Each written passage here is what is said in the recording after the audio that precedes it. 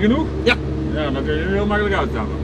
En over de sloophuizen. En u zag vanmorgen dat ze hier begonnen zijn met de slopen. Ja, dat klopt. Ze zou eerst gisteren beginnen. We hadden een brief gehad van de woningstichting.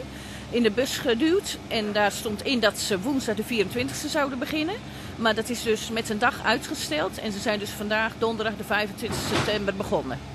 Nou is te zien dat ze ook meteen eh, re- redelijk rigoureus eh, te werk gaan. Eh, met, eh, ja, er is al, eh, ze zijn nog maar net bezig en er is al bijna één huis weg. Eh, verbaast dat u of is dat... eh, Eigenlijk wel, want in die eh, brief stond dat de eerste huizen gestript zouden worden. Dus ik nam aan misschien wat dakgoten eraf, hè, wat kleinere dingen er eerst af. Ik had ook niet verwacht dat ze gelijk de huizen, ja, helemaal zo, net wat u zegt, rigoureus eh, te werk zouden gaan. Dat ze wat, eh, ja, met grof geweld, zeg maar, eh, alles kapot zouden maken, zeg maar. En we waren wel bang, we hadden wel overlast. Er zijn diverse keren zijn er eh, branden gesticht. Eén keer een uitslaande brand, schuin tegenover ons.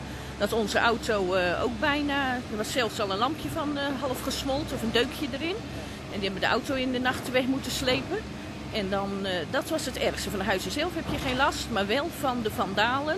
Of de jongens of wie dan ook die daar eh, brand in stichten of de ramen ingooien en zo. Daar heb je meer last van dan van die stille huizen die daar maar staan. Die doen er niks eigenlijk. ja, misschien mensen die ook wat spullen meenemen eh, van, vanuit sloopwoningen. Zoals dakpannen en plantjes en dat soort dingen. Of, Ik vond dan persoonlijk niet zo erg, die dakpannen. Omdat ik dacht, ja, die zullen wel goed, een goede bestemming krijgen. Maar er was één huis wat dus helemaal in brand gestoken is. En daar stond er nog wat eh, huisraad in, hè, van mensen die overleden waren. En dan was de erfenis door de notaris nog niet zo rond, geloof ik. En toen, eh, ja, dat hebben ze in brand gestoken. En ja, dat eh, brandde behoorlijk natuurlijk, omdat daar nog wat houten spullen, wat tafels en meubilair in stond. Hè. En wat kleren en zo. Dus, maar verder heb ik gezegd, van de huizen op zich hebben ze, heb ik geen last. Dan zou ze bij wijze van spreken nog twintig jaar blijven staan. Misschien raar gezegd. Maar eh, je weet niet wat er dan weer eh, voor gezinnen en mensen inkomen. Ja, we weten wel ongeveer wie er eh, in gaat komen, tenminste. Hè. Dat wel, maar de, de huizen zelf, ja, die doen je eigenlijk niks. Hè. Dat...